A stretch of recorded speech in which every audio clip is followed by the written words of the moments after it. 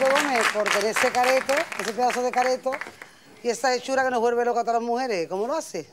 No, yo es que no, no tengo ningún tipo de problema. O sea, es que no tengo, no tengo vergüenza. Que tiene vergüenza ni come ni almuerza. Eso.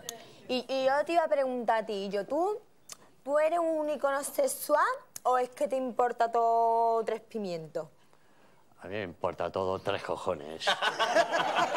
Siempre y cuando no complique la vida a la gente y no haga daño a nadie, hago lo que me viene en gana. Claro, y yo, pues yo te aviso que a mí no me vaya a pedir de salir porque Mm. mi novio es loco, un montón de celos y como te coja, verás. ¿Sí? No jodas. ¿Qué le va a hacer tu novio el loco? Pues se va a pelear y ya, ¿Eh? con él. Por loco está como por una pelea y Eduardo también. ¿Verdad, mucanijo los dos, no? Pues yo por ti me pego con tu novio y con quien haga falta, ¿sabes? Porque estás buena por un tubo. ¿Te has enterado, loco? Pues ya puedes cuidarme. Bien, bien, Eduardo, bien, bien, bien. Ay, Eduardo.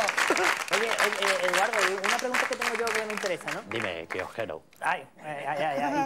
Tú que eres un personaje ya de peso de la serie y eso... Eso de peso que va con segundas. Hombre, eh, hombre, es que cuando ha enseñado el tanga he visto que ahí había peso, eso. Hablo con razón porque. Se fija, se fija mucho. el Ah, guion. eh, hombre, porque, porque me he sentido identificado contigo, no por otra cosa. Digo, mira, ya somos dos. También se fijan en todo. Pero, pero que tú ya que tienes ahí un peso, ¿tú con qué vecina de la serie le diría que te montaran un rollo los guionistas? Sin, perdón, sin lugar a dudas, con la persona que tengo más feeling para hacer ese tipo de secuencias es con Mariby Bilbao.